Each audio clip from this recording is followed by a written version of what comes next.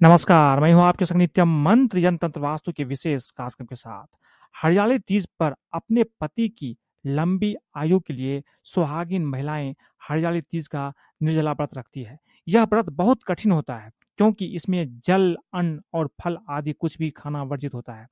इस व्रत को करने के लिए महिलाओं को काफ़ी कठिन परिश्रम भी करना पड़ता है।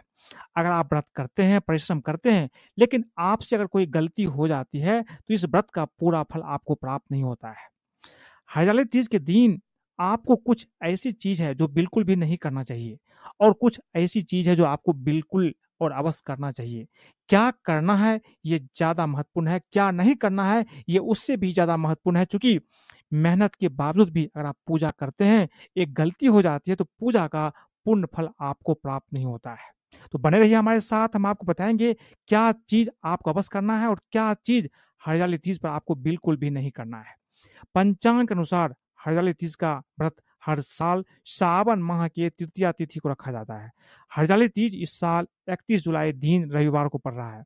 यह व्रत बहुत कठिन माना जाता है क्योंकि इस दिन महिलाएँ निर्जला व्रत रखकर भगवान शिव और माता पार्वती की आराधना करती है तथा अखंड सौभाग्यवती होने की तथा संतान प्राप्ति का आशीर्वाद प्राप्त करती है। धार्मिक मान्यता के अनुसार इस दिन भगवान शिव और माता पार्वती का पुनर्मिलन हुआ था। हरियाली तीज का व्रत नियम पूर्वक एवं विधि विधान से करने पर इसका फल प्राप्त होता है। इस दिन आपको ये जान लेना ज़रूरी है कि इस व्रत में आपको क्या करना है और क्या नहीं करना है। सबसे पहले ये जानते हैं कि हरियाली तीज के दिन आपको क्या अवश्य करना चाहिए। सबसे पहली चीज़, हरियाली तीज के दिन पत्नी को हरे रंग की चूड़ियाँ अवश्य पहनना चाहिए। हरे रंग की चूड़ियाँ को पति की लंबी उम्र, सेहत और खुशी उल्लास का प्रतीक माना जाता है। इस दिन, हरियाली तीज के दिन सुहागिन महिला को हरे रंग की चूड़ियाँ निश्चित रूप से पहनना चाहिए, इसका आप ध्यान रखें।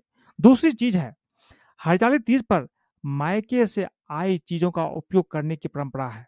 इस दिन, हरियाली तीज व्रत के दिन माता पिता अपनी विवाहित बेटी को साड़ी सोलह श्रृंगार का सामान, मिठाई, फल आदि भेजते हैं। इस दिन महिलाओं को चाहिए कि हरियाली तीज का व्रत के दिन पूजा के समय अपने मायके से आए सामान का उपयोग अवश्य ही करना चाहिए। अगर आप ये नहीं करते हैं तो आपका पूजा सफल नहीं होगा, पूजा का पूर्ण फल आपको प्राप्त नहीं होगा, इसका भी आप ध्यान रखें।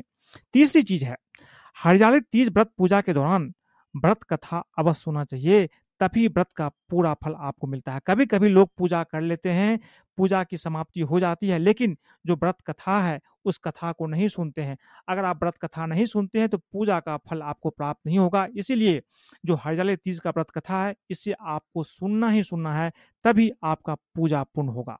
चौथी चीज़ है हरजले तीज के दिन माता पार्वती से जुड़ी गीत और कथाओं को गाना, पढ़ना या सुनना चाहिए, इससे माता अति प्रसन्न होती है।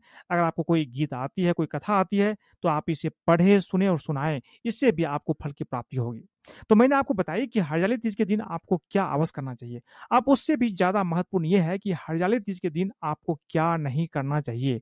सबसे पहली चीज़ जो आपको नहीं करना है, हरियाली तीज के दिन किसी का अपमान ना करें और किसी पर आपको क्रोध नहीं करना है। कभी कभी घर में किसी कारण से आपको गुस्सा आ जाता है, घर में बड़े बुज़ुर्ग रहते हैं, उस पर भी आप गुस्सा कर लेते हैं, या किसी कारण से आप अपने बच्चे पर भी आप गुस्सा कर लेते हैं, लेकिन ध्यान रखें, इस दिन आपको पूरी तरह से संयम बरतना है। पूरी तरह से संयम बरते, किसी पर आप क्रोध ना करें, किसी का अपमान आप बिल्कुल भी ना करें। दूसरी चीज़, व्रत के दिन आपको लड़ाई झगड़े से भी बचना चाहिए। मन में किसी दूसरे के प्रति किसी भी तरह की नकारात्मक या दुर्भावना आप न रखें, तभी आपका व्रत पूर्ण होता है, तभी आपकी पूजा सफल होती है। घर में चाहे कुछ भी हो जाए, किसी से आप लड़ाई झगड़े इस दिन बिल्कुल भी ना करें। खास करके जो महिलाएँ व्रत रख रही हैं, उसको तो खास तरह से इस बात का ध्यान रखना चाहिए। तीसरी चीज़ है हरियाली तीज के दिन अपने जीवन साथी से कोई बात आपको छुपाना नहीं चाहिए और न ही आपको झूठ बोलना चाहिए। कहा जाता है कि ऐसा करने पर पति के ऊपर दुख के बादल मंडराने लगते हैं। इसीलिए इस दिन आप खास ख्याल रखें इसका। चौथी चीज़ है, हरियाली तीज व्रत में काले और सफ़ेद कपड़े बिल्कुल भी आपको नहीं पहनना चाहिए। इससे जीवन में अशुभ होने की आशंका बनी रहती है। इसीलिए आप इसका ध्यान रखें कि काले कपड़े का प्रयोग ना करें। आप लाल और पीले कपड़े का प्रयोग करें, यह आपके लिए अच्छा रहेगा। पांचवी चीज़ है जो आपको नहीं करना है, हरियाली तीज व्रत के दिन कुछ भी ग्रहण ना करें। इस दिन आप निर्जला व्रत रखें तो आपके लिए अच्छा होगा, अगर आप कर सकते हैं। कोई बीमार है तो वो आप निर्जला नहीं भी रखे तो कोई बात नहीं है। जो कर सकते हैं तो आपको निर्जला व्रत ही रखना चाहिए, नहीं तो आपको व्रत का पूरा फल प्राप्त नहीं होगा। तो आज मैंने आपको बताया कि आपको हरियाली तीज के दिन क्या करना है और क्या नहीं करना है।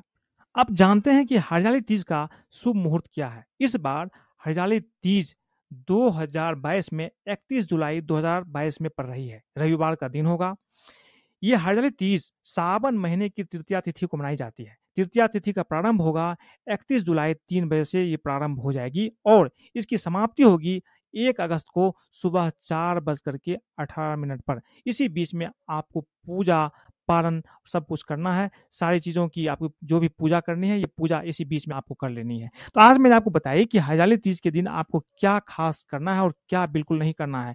इन चीज़ों से अगर इस चीज़ को ध्यान में रख करके आप पूजा करेंगे तो निश्चित रूप से आपका पूजा सफल होगा।